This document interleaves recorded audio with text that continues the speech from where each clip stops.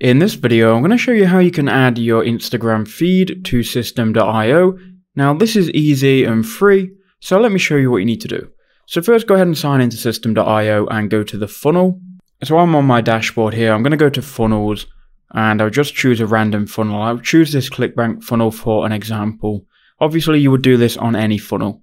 So now I'm going to go to edit page and now we can find a place to put our Instagram feed. So I'm go I'm going to scroll down and I guess I'll just add it here. So I'm going to remove all of this row here. So I'm going to click on remove and trash can that. So I'm going to put my Instagram feed here.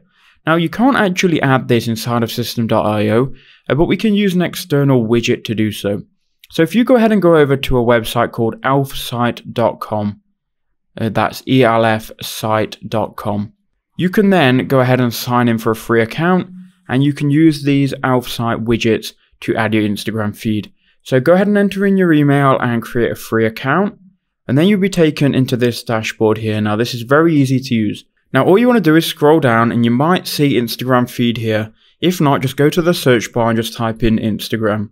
Uh, but because it's here, I'm just going to click on create widget.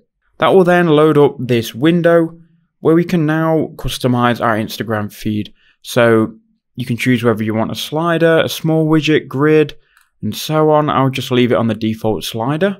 And we're going to then continue with this template. Now it's going to say source type and you can then source any public account. You can source your business account, personal account. Just go ahead and enter in the username here. So I'm just going to enter in my username, which is Bradley BRXD. Click add. Should then find me on Instagram. You can see down here in the bottom right, it's collecting posts. It may take up to a minute. So just wait until this has your profile on it. Okay, so now it's found my profile. Here are all my posts on Instagram. Now, if you want to go ahead and follow me, well, there's my at. You can go ahead and follow me to keep updated with me.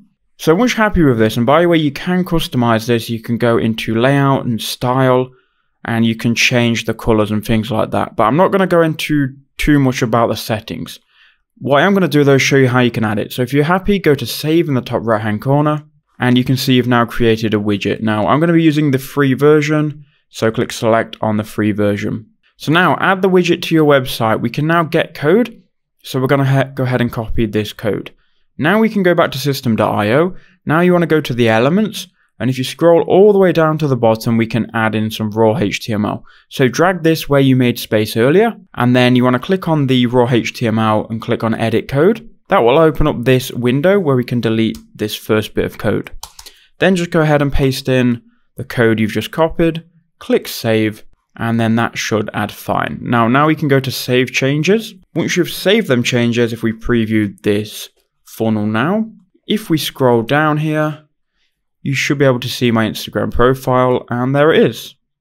So there you go, that's how you can add your Instagram profile to Systeme.io using Elfsight. I hope that video did help you out.